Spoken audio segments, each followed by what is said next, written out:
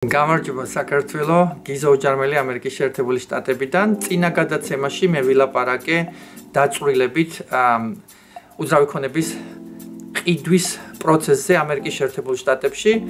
ამ გადაცემაში მინდა ვილაპარაკო უფრო დაწვრილებით თქვენს წარმომადგენელ აგენტის მუშაობის შესახებ და იმ ყველაფერზე თუ რისთვის არის საჭირო თქვენი შესყიდვის აგენტი, რომელიც უძრავი ქონების შესყიდვაში დაგეხმარებათ.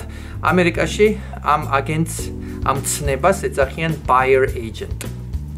buyer agent. არის თუ არა საჭირო buyer agent იმისათვის რომ მოიძიოთ უძრავი ქონება. მე ხშირად მომისმენია სხვადასხვა აზრები ამის შესახებ. ის კი არა ჩემი მუშაობის პრაქტიკაშიც ხშირად მაქვს ასეთი შემთხვევები, როდესაც ადამიანები ცდილობენ თვითონ მოიძიონ უძრავი ქონება. ხშირად ეს ადამიანები ცდილობენ რომ თვითონ დაუკავშირდნენ გამყიდველს. ალბათ თქვენს შემჩნეული გაქვთ ადამიანებს, ანუ გამყიდველებს აქვთ ესეთი ტრაფარეტი გამოკრული, რომელზეც აწერია for sale by owner, for sale by owner. ჩვენ უძრავი ქონების ტერმინოლოგიით ამას FISBOS ვეძახით. FISBOS, ანუ შემოკლებით FSBO, for sale by owner.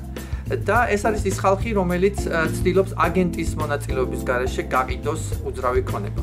ეს აბსოლუტურად კანონიერია, არაფერი ცუდი ამაში არ არის, მაგრამ არის ერთი პრობლემა. როდესაც თქვენ აგენტის გარეშე მუშაობთ, თქვენ მრავალ მხრივ დაუცველი ხართ, როდესაც პირდაპირ თქვენ ამ გამყიდველს ესაუბრებით, არის ბევრი რაღაცა, რაც შეიძლება გამოგეპაროთ და როდესაც უკვე ტრანზაქცია დაიხურება და მეરે წარმოიქმნება რაღაც პრობლემა, უბრალოდ არ გექნებათ შესაძლებლობა აი ესე ადვილად მიუბრუნდეთ ამ გამყიდველს და აიძულოთ თუ საჭირო გახდა ამ გარკვეული ხარვეზების მოგვარება. ნომერი პირველი პრობლემა რის გამოც ადამიანები, ანუ მყიდველები ცდილობენ რომ აგენტის garaშე მოიძიონ უძრავი ქონება, არის საკმაოდ უბრალო. ადამიანები ფიქრობენ იმის შესახებ, რომ თუ აგენტს არ გამოიყენებთ, არ დაგჭირდებათ საკომისიოს გადახდა. ეს არის დარი შეხედულობა, რამე თუ, როდესაც თქვენ მუშაობთ შესყიდვის აგენტთან, ანუ buyer's agent, როგორც წესი თქვენ არასდროს არ დაგჭირდებათ ამ აგენტის საკომისიოს გადახდა. დიახ თქვენ სწორედ გაიგეთ, როდესაც თქვენ მუშაობთ შესყიდვის აგენტთან, ანუ buyer's agent, თქვენ როგორც წესი არასდროს არ დაგჭირდებათ ამ აგენტის საკომისიოს გადახდა და წარმოიდგინეთ ახლა თუ შეიძლება ყავდეთ აგენტი, რომელიც იმუშავებს თქვენთვის, რომელიც გააკეთებს ყველაფერს იმისათვის, რომ წარმოადგინოს თქვენი ინტერესი ტრანზაქციაში და ამაში არ დაგჭირდებათ ფულის გადახდა, რატომ არ უნდა ყავდეს აგენტი? მე პირადად ვერ ხედა ვერავით არ მიზეს ეს არათუ არც თუ ისე ჭკვიანურია უბრალოდ ხანდახან სიბეცეც არის. და თუ თქვენ არიხდით ამ აგენტის საკომისიოს მაშინ ვინ იხდის ამ აგენტის საკომისიოს? აქაც პასუხი არის ძალიან უბრალო. ამერიკის შეერთებულ შტატებში როდესაც ქონება გამოდის გასაყიდად არის MLS, ანუ Multiple Listing Service არის სპეციალური სისტემა, სადაც ნებისმიერი უძრავი ქონება ხდება გამოტანილი გასაყიდად. ამ სისტემაში, როდესაც აგენტი წარმოადგენს გამყიდველს და როდესაც გამყიდველი აწერს კონტრაქტს ხელს, ამ კონტრაქტს ეწოდება exclusive listing, ანუ exclusive right to sell. ანუ ქართულად რომ გადმოგცეთ, ეს წარმოადგენს ექსკლუზიურ გაყიდვის კონტრაქტს, როდესაც გამყიდველი იღებს თავის თავზე ვალდებულებას, რომ გადაიხადოს გამყიდველის აგენტის საფასურით და ასევე გადაიხადოს ყიდველის აგენტის საკომისიო. ანუ ის საკომისიო გადასახადი, რომელსაც ეს კონტრაქტი გამყიდველს აკისრებს, დაფარავს გამყიდველის აგენტსაც და გაყიდვის აგენტსაც. მიმიხვდით ხომ? და თქვენ როდესაც დაიქირავებთ აგენტს, რომელიც იმუშავებს თქვენთვის, ეს აგენტიც არის აი ამ გაერთიანების, რომელსაც ქვია MLS, ამ გაერთიანების წევრი და ამ გაერთიანების კონტრაქტის მიხედვით ყოველი აგენტი, რომელიც ამ გაერთიანების შიგნით მუშაობს, თავის თავზე იღებს ვალდებულებას, რომ ერთმანეთთან კონდეთ კარგი ეთიკურად გამართული საქმიანი ურთიერთობა. და ეს საქმიანი ურთიერთობა ითვალისწინებს იმას, რომ ვალდებულებას იღებს აგენტი, გაყიდვის აგენტი, რომ გაუყოს თავისი საკომისიო გადასახადი შესყიდვის აგენტს, ანუ თქვენს buyer agents. აი ასე უბრალოდ ხდება ის, რომ თქვენ შეგიძლიათ დაიქირავოთ აგენტი, ეს აგენტი იმუშავებს თქვენთვის, მაგრამ თქვენ არ დაგჭირდებათ ამ აგენტისათვის საკომისიოს გადახდა. ანუ ეს პრობლემა ჩემოკარგებო უკვე მოგვარებულია. როდესაც საქმე ეხება უკვე ისეთი უძრავი ქონების შესყიდვას, რომელიც უშუალოდ გამყიდველს აქვს გამოტანილი გასაყიდად, აქაც თქვენ 99% ვერ გეტყვით 100%, მაგრამ 99% დაფარული ხართ. ჩემს ცხოვრებაში ეს ძალიან ხშირად ხდება, როდესაც მე ვხვდები მყიდველებს და ეს მყიდველები მეუბნებიან, რომ აგე იქ ნახეთ უძრავი ქონება, რომელიც გამყიდველს აქვს გამოტანილი და ჩვენ გვინდა ამ უძრავი ქონების ნახვა. ჩემი პასუხი არის ყოველთვის რა თქმა უნდა და ასევე ჩემი პასუხი იმის შესახებ, რომ დაშჭირდება თუ რა აგენტებს ჩემი საფასურის გადახდა არის ყოველთვის რომ არ დაშჭირდებათ. ხო საიდან ვარ ასეთი დარწმუნებული და რატომ ვარ ასეთი დარწმუნებული, რომ ეს ასე იქნება. ძალიან უბრალო მიზეზის გამო კარგი პროფესიონალი, რომელიც დიდი ხანია უკვე ამ საქმიანობაში არის და აქვს გამოცდილება, იცნობს რა თქმა უნდა ძალიან ბევრ ადამიანს თავის რეგიონში ან თავის ქალაქში.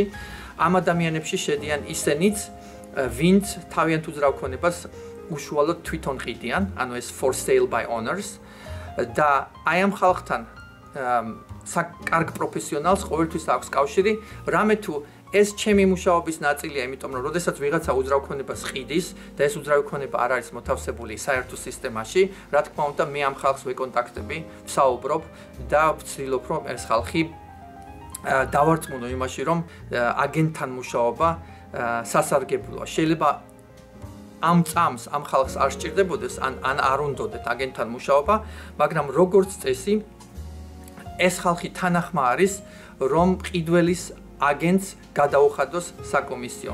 ანუ რა ხდება აქ? იმის ნაცვლად რომ 6% გადაიხადონ და ორივე აგენტი დაფარონ, როდესაც ისინი თვითონ ყიდიან, ისინი ფიქრობენ რომ აი მყიდველი თუ მოვა აგენტთან ერთად, ნუ დამჭირდება 3 3-დან 4%-ამდე გადახდა და მაინც აქვს ამ ადამიანს შეგრძნება რომ საკომისიოს გადასახადი ცოტათი მაინც დაზოგა.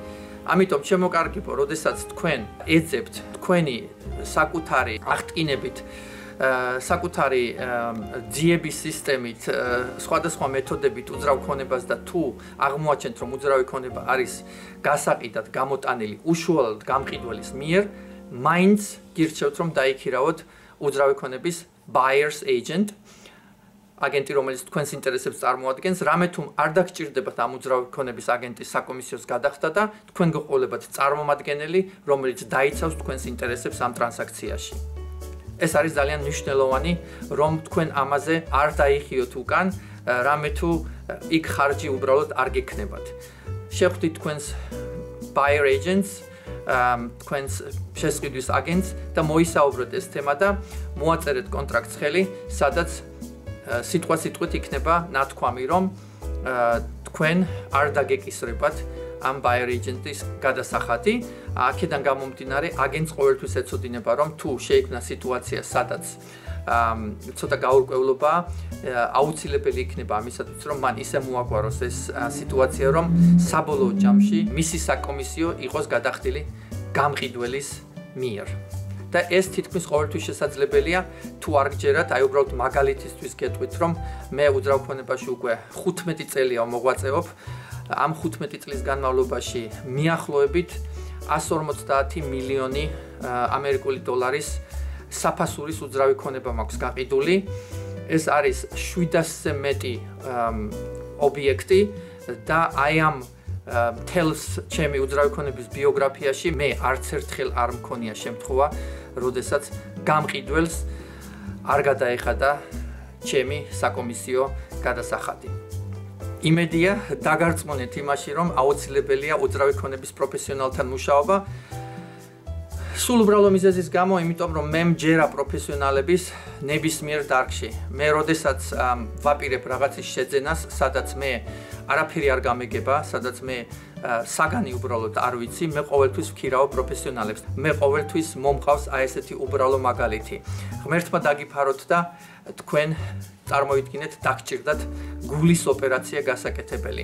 თქვენ პირველ რიგში მოიძიებთ ყველაზე საუკეთესო ექიმს და როდესაც საქმე სიცოცხლესა და სიკვდილს ეხება, მერწმუნეთ რომ თქვენ არ დაიხებთ უკან ნებისმიერ თანხაზე, რომელიც თქვენ გადაგარჩენთ. ამასთან ერთად ადამიანი რომ მოსულიყო თქვენთან, რომელიც გეტყოდათ, იცით რა, მე იაფად გაგიკეთებთ თქვენს ოპერაციას, მაგრამ ლანცეტის და სკალპელის ნაცვლად მე ვიხმარ ნაჯახს, დარწმუნებული ვარ, რომ თქვენ ამ ადამიანს არ დაიქირავებთ. ამიტომ მე მჯერა პროფესიონალებთან მუშაობის და ყოველთვის ეცადეთ, რომ დაიქირავოთ პროფესიონალი. ნაკლებად იფიქრეთ ხარჯზე, იფიქრეთ შედეგზე. რამე თუ შედეგი არის ყველაზე მთავარი. ხშირად ცხოვრებაში ის რაც იაფია, ძალიან ძვირი გვიჭდება ბონუს. მაშასე ვაგრძელებთ მუშაობას შეესყიდვის აგენტთან, ანუ buyer's agent, თქვენს წარმომადგენელთან ტრანზაქციაში.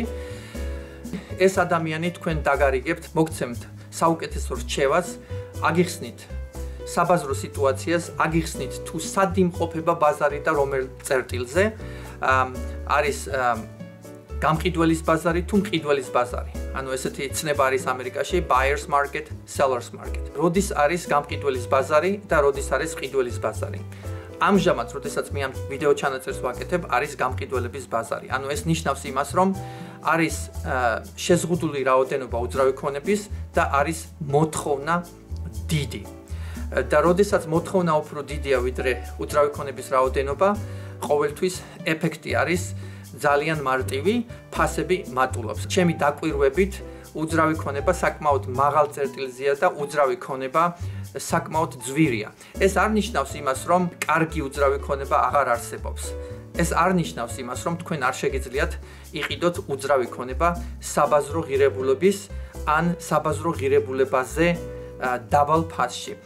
კარგი უძრავი ქონება არსებობს ყოველთვის და ბევრი რამე დამოკიდებული იმაზე, თუ ვის აერჩევთ თქვენს შესყიდვის აგენტად. როდესაც თქვენ უძრავი ქონების აგენტთან მუშაობთ, აუცილებლად მოისაუბრეთ რას ეძებთ, აუხსენით უძრავი ქონების აგენტს, რა კრიტერიუმები გაქვთ მოძიებისათვის და მიეცით საკმაოდ მკაფიო ამოცანა თქვენი მომავალი უძრავი ქონების შესახებ.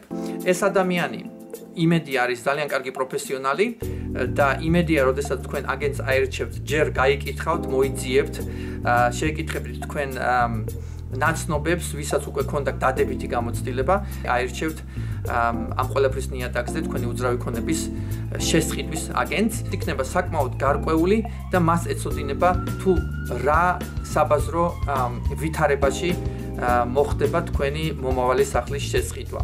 უძრავი ქონების აგენტს შეუძლია კაფიოთ და ზუსტად გადმოგცეთ თუ რა არის ნამდვილი საბაზრო ღირებულება ამა თუ იმ უძრავი ქონების ბაზარი ყოველთვის იცვლება ასევე იცვლება საბაზრო ღირებულება მოთხოვნა და ობიექტების არსებობა ანუ inventory ყოველთვის განაპირობებს ფას. და თქვენ უძრავი ქონების პროფესიონალი აუცილებლად დაგეხმარებათ იმაში რომ არ ჩაიდინოთ რამე, არ შეიძინოთ რამე უფრო ძვირად ვიდრე საჭიროა. Buyers market, ანუ ყიდველების ბაზარი, ну, რაში მდგომარეობს ყიდველების ბაზარი, ეს აბსოლუტურად საპირისპიროა გამყიდველების ბაზართან, როდესაც არის buyers market, მაშინ უძრავი ქონების რაოდენობა ბევრად უფრო მეტია ვიდრე მყიდველობის რაოდენობა. როგორც წესი, თუ თქვენ ამერიკაში საკმაოდ რო ბრძანდებით უკვე, ალბათ გეხსომებათ 2008 წლიდან, ანუ 2008 წლის ბოლოდან 2014 წლამდე ამერიკის შეერთებულ შტატებში იყო აი ესეთი ბაზარი, ეს იყო გამოწვეული საფინანსო კრიზისის მიერ, რამე თუ 2008 წლამდე გაიცა ძალიან ბევრი რაოდენობის სესხი, რომელიც წესით არ უნდა გაცემულიყო და როდესაც დაიწყო კრიზისი, ფაქტიურად მოხდა ის, რომ ბევრ ადამიანს, ვისაც ჰქონდა აღებული ჰიპოთეკური სესხი, არ შეეძლო უკვე ამ სესხის გასტუმრება გადახდა აღმოჩნდა ბევრი უძრავი ქონება ბანკების ხელში. ასეთ უძრავ ქონებას ამერიკაში ჩვენ ვეძახით REO real estate owned და ეს ეს ტერმინი მაშინ იხმარება როდესაც ეს უძრავი ქონება გადავიდა დამფინანსებელი ბანკის განკარგულებაში. იმის გამო რომ ყიდველმა ვერ შეძლო სესხის გასტუმრება. და აი ამ პროცესს როდესაც ადამიანი ვეღარ შეძლებს სესხის გასტუმრებას ქვია foreclosure. Foreclosure თქვენ ალბათ ეს ხშირად გაგეგიათ როდესაც ასეთ უძრავქონების საიტზე მაგალითად მოიძიებთ Zillow ეს ხშირად არის ნაჩვენები რომ pre foreclosure ანუ ეს საიტი აჩვენებს იმას რომ სახლი იმყოფება უკვე სტრესულ მდგომარეობაში გამყიდველი უკვე ჩამორჩენილია ამ გადახდებს და რაღაც გარკვეულ პერიოდში თუ ეს ასე გაგრძელდა ეს უძრავი ქონება უკვე ბანკის განკარგულებაში გადავა. ეს არ ნიშნავს, რომ თქვენ შეგიძლიათ ამ უძრავი ქონების უეცრად და სწრაფად შეძენა, მაგრამ ეს შეიძლება იმას ნიშნავდეს, რომ არის შანსი იმის, რომ ეს უძრავი ქონება ბაზარზე იქნას გამოტანილი. ბანკს აქვს არჩევანი. შეუძლია ბანკმა გაყიდოს თავისით შეუძლია ბანკმა დაიქირავოს უძრავი ქონების აგენტი და გაყიდოს ამ აგენტის მეშვეობით და თქვენ როგორც ყიდველი ამას დაინახავთ, გამოტანილი იქნება. არის ასეთი საშუალებაც, რომ თქვენ შეგიძლიათ ვიდრე ბანკის განკარგულებაში გადავა ეს უძრავი ქონება, შეგიძლიათ აუქციონზე მიხვიდეთ და შეისყიდოთ ეს სახლი. ამაზე მე და საერთოდ ამ foreclosure პროცესზე უფრო დაწურილებით, ჩემს მომავალ ვიდეოში ვისაუბრებ, მაგრამ ახლა კი გავაგრძელოთ. როდესაც უძრავი ქონების აგენტთან ერთად დაიწყებთ უძრავი ქონების მოძიებას, აუცილებლად უნდა იყოთ აღჭურვილი pre-approval and pre-qualification letter. Pre-approval job-ია pre-qualifications.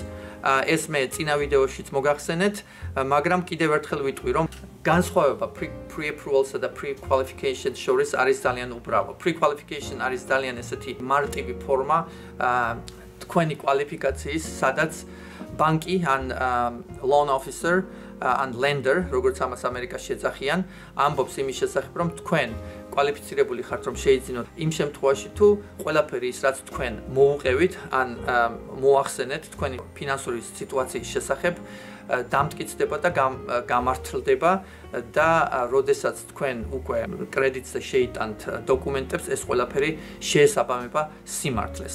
Pre-approval არის უფრო მაღალი ფორმა კვალიფიკაციის, რომელიც ამბობს იმის შესახებ, რომ და ადასტურებს იმას, რომ ის ყველაფერი, რაც თქვენ მოახსენეთ, ასევე უკვე დადასტურებული იქნა თქვენი თქვენს მიერ შეტანილი დოკუმენტაციის ნიადაგზე და თქვენ მზად ხართ, რომ შეიძინოთ სახლი აღნიშნული ღირებულებების ჩარჩოში, რომელსაც უკვე ეს თქვენი ბანკი, loan officer and lender მიგიჩიტებთ. უძრავი ქონების აგენტი აუცილებლად შეგეკითხებათ შეკითხვებს, რომელიც დაეხმარება მას მოიძიოს ის უძრავი ქონება, რომელიც ნამდვილად თქვენს ინტერესებს და თქვენს მოთხოვნილებებს შეესაბამება. პირველ რიგში და მე არ ვიღლები ამის გამეორებით, იფიქრეთ ადგილმდებარეობაზე. არის სამი ძირითადი კომპონენტი, რომელიც არის ყველაზე მნიშვნელოვანი უძრავქონებაში, დანარჩენი არ არის არც თუ ისე მნიშვნელოვანი. პირველი კომპონენტი არის ადგილმდებარეობა და ამისათვის არსებობს კლიშე, როდესაც ამერიკელები ამბობენ location, location, location, შეიძლება ჩაითვალოს, რომ ერთადერთი ყველაზე მნიშვნელოვანი კომპონენტი არის ლოკაცია, ანუ ადგილმდებარეობა. არც თუ ისე კარგი სახლი შვენიერ სამეზობლოში უკეთესია, ვიდრე ყველაზე კარგი სახლი ძალიან ცუდ სამეზობლოში. ეს ყოველთვის სიმართლეა, ამიტომ ეს არის თქვენი სახელმწიფო იმისათვის, რომ ყოველთვის იფიქრებთ იმაზე, რასაც ყიდულობთ, არც თუ ისე მნიშვნელოვანია, თუ რას ყიდულობთ, არამედ მეტად უფრო მნიშვნელოვანია, თუ სატყიდულობთ. მეორე კომპონენტი არის ზომა, ანუ party. და მესამე კომპონენტი არის უკვე ის შემადგენელი ნაწილები, რაც უძრავ ქონებას გააჩნია, ანუ ოთახების რაოდენობა, სველი წერტილების რაოდენობა, ავტოფარეხების რაოდენობა, მიწის ნაკვეთის ზომა და ასე შემდეგ. ის ყველაფერი რაც შეიძლება ასე თუ ისე შეიცვალოს. თუ სამზარეულო არ მოგწონთ, შეგიძლიათ შეაკეთოთ და უკეთესი გახადოთ, მოდერნიზირება გააკეთოთ. სველი წერტილები არ მოგწონთ, ამის შეცვლა შეიძლება და გააკეთოთ. აი ესე ხუმრობით გეტყოდით, მაგრამ მაინც ყოველთვის იფიქრეთ იმაზე, სამეზობლო, სამეზობლო, სამეზობლო, ადგილმდებარეობა, ადგილმდებარეობა და კიდევ ერთხელ ადგილმდებარეობა. რა განსაზღვრავს ამ საუკეთესო ადგილმდებარეობას? ყველაფერი ის, რაც თქვენი სახლის გარშემო ხდება. რანაირი სამეზობლოა, რანაირი სკოლებია, საცალო ბაზრობის ობიექტები, სხვადასხვა დაწესებულებები, როგორი პოლიციის განყოფილებაა და როგორ არის მუნიციპალური სისტემა გამართული. თუ რანაირი უძრავი ქონების გადასახადებია და რა მომსახურეობას იძლევა ის ქალაქი ან დაბა ან სოფელი, რომელიც ამუძრავი ქონების გადასახადებს გაკისრებთ. შედის ამუძრავი ქონების გადასახადებში სკოლა, საპოლიციო მომსახურეობა, სახანძრო მომსახურეობა და ასე შემდეგ. თუ არ შედის, არის თუ არა ეს დამატებით გადასახადი. ჩვენს ქალაქში, სადაც მე ვცხოვრობ, ჩვენს უძრავი ქონების ბეგარაში, რომელსაც ყოველწლიურად ვიხდით, შედის პოლიცია, სახანძრო რაზმი, ქუჩების დასუფთავება, სკოლების დაფინანსება, უნივერსიტეტის დაფინანსება და ბევრი ის ღონისძიება, რომელსაც ქალაქის მესვეურები ატარებენ იმისათვის, რომ ჩვენი ქალაქი იყოს საცხოვრებლად სასიამოვნო და როდესაც თქვენ უკვე მოიძიეთ ეს თქვენი უძრავი ქონება, თქვენი სასურველი სახლი, დადგება დრო, როდესაც უნდა გააკეთოთ შესყიდვის წინადადება და თქვენ შესყიდვის წინადადების შედგენაში თქვენ დაგეხმარებათ თქვენი შესყიდვის აგენტი, buyer's agent. კარგი პროფესიონალი ვიდრე თქვენ ამ offer to purchase, ანუ შესყიდვის წინადადებას დაწერთ, მოიძიებს პირველ რიგში იმას თუ რა ფასი არის საჭირო რომ შესთავაზოთ. ჩვენ ყოველას გვინდა გადავიხადოთ ნაკლები ვიდრე ფასი. ეს ძალიან ადამიანურია, მაგრამ რეალობას უნდა შევხედოთ და ხშირად რეალობაში ფასი არის მაღალი, ან ბევრად უფრო მაღალი ვიდრე ჩვენ ეს გვინდა. რა აზრი აქვს დაბალი წინადადებების გაკეთებას, როდესაც თქვენ ყოველთვის დაკარგავთ და ვერ შეიძენთ იმ უძრავქონებას, რომელიც სჭირდება. ეს გამოიწვევს იმედგაცრუებას და საბოლოო ჯამში არც უძრავი ქონების აგენტი აკეთებს თავის სამუშაოს სათანადოდ, იმიტომ რომ აგენტის სამუშაო არ არის ის, რომ გაყიდინოთ სახლი მხოლოდ კარგ ფასად, არამედ აგენტის სამუშაო არის ის, რომ გაყიდინოთ სახლი, რომელიც არის იდეალური თქვენი ყოველი მოთხოვნილების გათვალისწინებით. დიახ, მე მგონი სწორედ გამიგეთ, ფასი ხშირად არ არის ყველაზე მთავარი. იმიტომ რომ თუ ფასი ჯდება თქვენს პარამეტრებში 1000-ით თუ 2000-ით ნაკლები, თუნდაც 10000-ით ნაკლები, არ არის ისეთი მნიშვნელოვანი, იმიტომ რომ თქვენ ამას აფინანსებთ და ყოველი 10000, რომელსაც თქვენ აფინანსებთ, დღევანდელი პირობებით ალბათ გიჯდება 40 დოლარით მეტი. ეს ძალიან უხეშად ვამბობ. ფასის გარდა არის ბევრი პირობა, ბევრი კომპონენტი, რომელიც მნიშვნელოვანია, რომ უძრავი ქონების აგენტმა გაითვალისწინოს. ამ ტრანზაქციაში ერთ-ერთ დიდ ნაწილს იკავებს ინსპექცია, ანუ სახლის გამართულობა. უძრავი ქონების აგენტი დაგეხმარებათ მოიძიოთ კარგი სერტიფიცირებული ინსპექტორი, რომელიც ჩაატარებს ძალიან დეტალურ ინსპექციას. არც თუ ისე ადვილი პროცესია, იმ წინადადებას, რომელსაც თქვენ ინსპექციის მერე უკვე უგზავნით, გამყიდველს და გამყიდველის აგენტს ქვია amendment to offer to purchase. amendment to offer to purchase და აქ იქნება ჩამოწერილი ყველა ის ხარვეზი, რომელიც თქვენ გინდათ რომ ამ გამყიდველმა აღმოფხვრას ან შეაკეთოს. ხშირად მყიდველებს ცდარი გაგება აქვთ იმის შესახებ რა არის ხარვეზი. იცით ხარვეზი არ არის ის რომ თქვა შეიძლება ხალიჩა იყოს ძველი. როგორც წესი ხარვეზი არის ის, რაც ეწინააღმდეგება ადამიანის უსაფრთხოებას, რაც წარმოადგენს ადამიანის ჯანმრთელობისათვის საფრთხეს, ის რამაც შეიძლება გამოიწვიოს მომავალში ხანძარი ან გარკვეული რისკი. აი ეს არის დეფექტი. და ამისათვის ძალიან მნიშვნელოვანია რომ თქვენ უძრავი ქონების აგენტთან ერთად საკმაოდ დაკვირვებით გაევლით ამ დეტალურ ნუსხას, რომელსაც ინსპექტორი მოგცემთ და აღმოაჩენთ რა არის დეფექტი და რა არ არის დეფექტი. ეს ყველაფერი არის მოლაპარაკების საკითხი და ამისათვის ყავთ თქვენ შესყიდვის აგენტი, buyer agent, რომელიც ამ ყველაფერს უხელმძღვანელებს დაალაგებს ამ ყველაფერს, შექმნის სტრატეგიას და მოგეხმარებათ, რომ ჭკვიანურად მიუდგეთ ნებისმიერ ხარვეზის აღმოფხვრას და ჭკვიანურად მიუდგეთ იმას, რომ საბოლოო ჯამში თქვენი ტრანზაქცია კარგად დაგვირგვინდეს. ნიშნულოვანია ასევე, რომ თქვენ შორის და თქვენს აგენტ შორის იყოს ნდობა, აი როგორც თქვენს საკუთარ ადვოკატს ენდობით, ან ვინმე თქვენი ნდობით აღჭურვილი პირს, აი ეს ადამიანი უნდა იყოს ასეთი ადამიანი და მთელი კომუნიკაცია თქვენსა და გამყიდველს შორის უნდა მიდიოდეს უძრავი ქონების აგენტების მეშვეობით. ეს არ არის სწორი, როდესაც გამყიდველი და მყიდველი აგენტების ზურგს უკან ერთმანეთს უკავშირდებიან და ცდილობენ რაღაცაზე მოილაპარაკოთ. თქვენივე უსაფრთხოების გამო ეს არ არის ჭკვიანური. აგიხსნით რატომ? როდესაც რამეზე ხდება მოლაპარაკება, ეს ყველაფერი უნდა არსებობდეს წერილობით, როდესაც ყველაფერი არსებობს წერილობით და თუ წარმოიქმნა რაღაც საკამათო საკითხი, ყოველთვის შეიძლება მიუბრუნდეთ ამ დოკუმენტს და ამ დოკუმენტების საფუძველზე აღმოაჩინოთ ის თუ რა იქნა მოლაპარაკებული და რომელმა მხარემ რა ვალდებულება აიღო.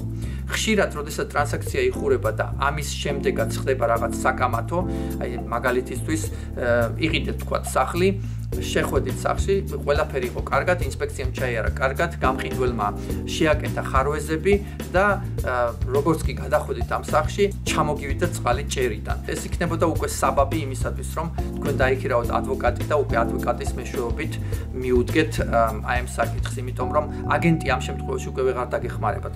მაგრამ როდესაც ყველა დოკუმენტი თქვენ გაქვთ გამართულ მდგომარეობაში, ყველა წერილობითი მისვლა-მოსვლა არის ფაილში და როდესაც ამ ყველაფრის მოძიება დაგჭირდებათ, იმიტომ რომ თქვენ ადვოკატს გადასცეთ, ეს ბევრად უფრო უსაფრთხოა თქვენთვის, ვიდრე ის რომ თქვენ სიტყვიერად მოილაპარაკოთ თქვა პირდაპირ გამყიდველთან აგენტების ზურგს უკან და მე როდესაც დაგჭირდებათ ამის არავითარი დამამტკიცებელი საბუთი არ არ იქნება. იმიტომ რომ აი გამყიდველი შემპირდა რომ რაღაცას გავაკეთებთ დახურეთ ეს ტრანზაქცია და სინამდვილეში გამყიდველმა რაღაცა მიაფუჩეჩა არ გააკეთა სათანადოდ არ დაიქირავა ლიცენზირებული კონტრაქტორი თავისით გააკეთა რაღაცა ეს იყო არაპროფესიონალური და რა თქმა უნდა ერთ თვის შემდეგ თქვენ გასაკვირვი არ არის რომ ჩამოგივიდეთ წყალი. ასე რომ ნებისმიერი კომუნიკაცია აუცილებლად აწარმოებთ აგენტის მეშვეობით, მთელი ტრანზაქციის მსვლელობა იქნება სათანადოდ დოკუმენტირებული. ჭკვიანურია, განსაკუთრებით, როდესაც ძველ სახლს ყიდულობთ, ან გარკვეული სახლის კომპონენტები არის უკვე ხანდაზმული, ძალიან ჭკვიანურია, რომ გქონდეთ home warranty. ანუ სახლის გარანტია, როგორ ხდება ეს? ძალიან უბრალოდ, გამყიდველი იხდის ამის საფასურს, როგორც წესი 500-დან 600 დოლარამდე ღირს ჩვენ შტატში, ხა შეიძლება სხვა შტატში სხვანაირად ღირდეს და როდესაც თქვენ ტრანზაქციას დახურავთ, თუ რამე ხარვეზი შეიქმნა, თქვა მაცივარი გაგიფუჭდათ და მაცივარის შეკეთება უკვე შეუძლებელია, მაშინ აი ეს home warranty, ეს კომპანია, რომელიც ამ გარანტიას წარმოადგენს, თქვენ უსასყიდლოდ შეგეცვლით ამ მაცივარს. ეს home warranty მოქმედებს ერთი წლის განმავლობაში, თქვენ შეგიძლიათ მერე უკვე ყოველთვის გაახანგრძლივოთ სათანადო გადასახადის გადახდის შემდეგ. ყოველი deadline-ი, ანუ deadline-ი ეს არის ვადა, როდესაც უნდა შესრულდეს გარკვეული წინაპირობა. როდესაც deadline-ი დროულად არ სრულდება, ეს შეიძლება გახდეს საბაბი იმისა, რომ ტრანზაქცია იქნეს გაბათილებული. ამიტომ ყოველთვის შეეკითხეთ თქვენს შესყიდვის აგენტს, თქვენს buyers agents, რომ აწარმოოს კომუნიკაცია თქვენს ბანკთან, თქვენ loan officer-თან, კომუნიკაცია ინსპექტორთან, კომუნიკაცია დახურვის კომპანიასთან, რა თქმა უნდა კომუნიკაცია გამყიდველის აგენტთან, გააკეთოს კოორდინაცია იმის, რომ ყველაფერი მოხდეს დროულად, ასევე თქვენი შესყიდვის აგენტი გააკეთებს თქვენი დახურვის პროცესის და ვადების დანიშნვის კოორდინაციას. დაზუსტებით გეტყვით თუ როდის იქნება დანიშნული დახურვა, რომელ საათზე, რომელ ადგილას და უზრუნველყოფს რომ თქვენი თლიანი შეძენის პროცესი იყოს რაც შეიძლება სასიამოვნო და რაც შეიძლება ნაკლები გაუთვალისწინებელი სტრესით. ჩემი გამოცდილებიდან გეტყვით, რომ 80% ყველა ტრანზაქციის მოიცავს გარკვეულ სტრესს. ხშირად ეს პოზიტიური სტრესიც არის, კარგი რაღაცა, როდესაც ადამიანი სახს ყიდულობს, მაგრამ ამ შესყიდვის პროცესს ეს დიდი სიხარულია, მაგრამ გარკვეული სტრესი, გარკვეული დაძაბულობა ყოველთვის თან ახლავს და როდესაც კარგი აგენტი ყავთ, ეს კარგი აგენტი და კარგი პროფესიონალი ყოველთვის შეამსუბუქებს აი ამ დაძაბულობას და ყოველთვის იპოვის გამოსავალს თუ როგორ შეიქმნას რაც შეიძლება სასიამოვნო სიტუაცია.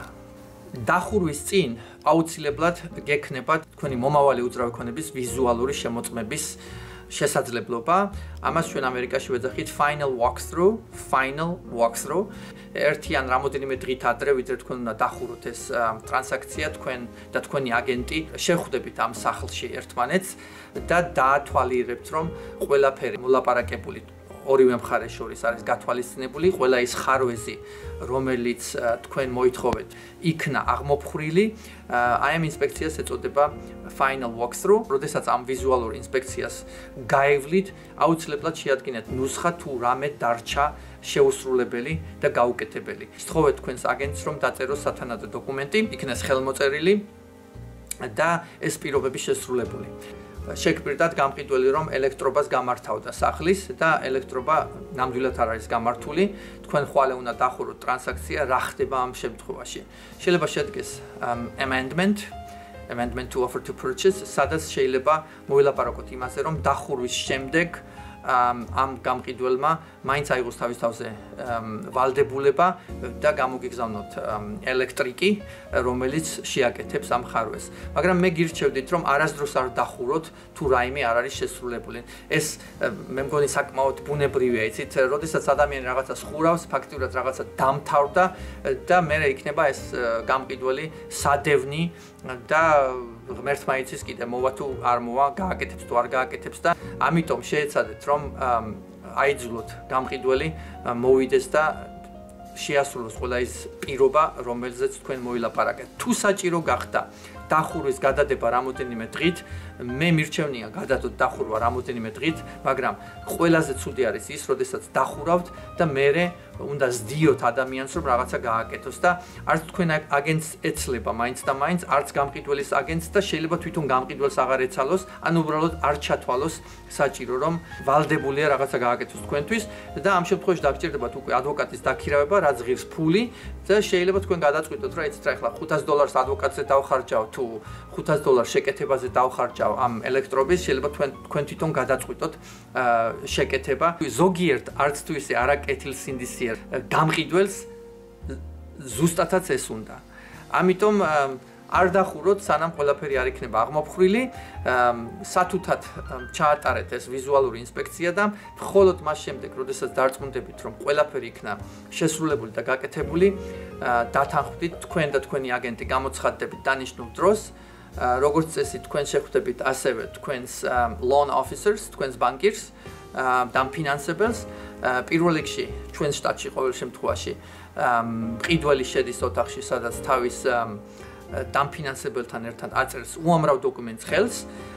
ეს რომ მოგვარდება, მე უკვე შემოდიან დანარჩენები, ანუ გამყიდველი, გამყიდველის აგენტი, თქვენი აგენტი, თქვენი აგენტი სხვადასხვა შეიძლება თქვენთან ერთად იყოს მთელი ამ ხნის განმავლობაში თუ თქვენ ასე უფრო კომფორტულად გრძნობთ თავს. ეს უკვე თქვენი გადაწყვეტილება და როდესაც მე გამყიდველი მოაწერს ხელს deeds deed არის ის დოკუმენტი რომელიც ადასტურებს უძრავი ქონების ერთი ხელიდან მეორე ხელში გადასვლას მაშინ თქვენ მიიღებთ გასაღებს გამყიდველი მიიღებს თანხას რომელიც მას გადაერიცხება და შეგიძლიათ ბედნიერი გაემართოთ თქვენი ახალი სახლისაკენ.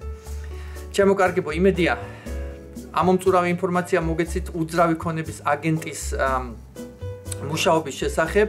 ამ შემთხვევაში შესყიდვის აგენტის მუშაობის შესახებ.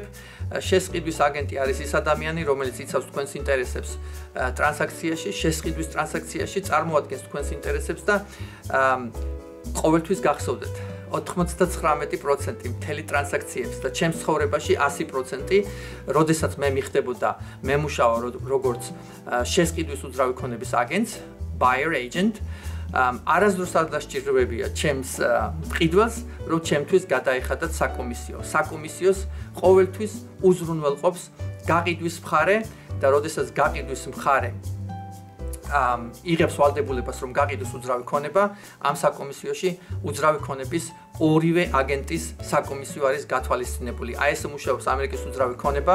იმედია, ერთ მშვენიერ დღეს საქართველოსიც დაალაგდება ისე, რომ აგენტებმა ერთმანეთთან ნაკლებად იკამათონ და ორივე აგენტი მოემსახუროს თავის მხარეს გულწრფელობით, პროფესიონალიზმით და რაც მთავარია, იმის გათვალისწინებით თუ რა არის დიდი მედებს მომყარებ რომ საქართველოსი ჩვენი უძრავი ქონების ასოციაცია რომელთანაც მე საკმაოდ კარგი კავშირი მაქვს და ჯერა რომ ჩვენი უძრავი ქონების ასოციაცია ძალიან კარგ სამუშაოებს ასრულებს დარწმუნებული ვარ რომ ადრე თუ გვიან ჩვენ დავამკვიდრებთ ბევრ ეთიკის ნორმას პროფესიონალიზმის ნორმას უძრავი ქონების აგენტების განათლების მოთხოვნილებას და სერტიფიცირებას და ვიმუშავებთ იგივე პრინციპებით, რომელიც მიღებულია დანარჩენ ცივილიზებულ სამყაროში.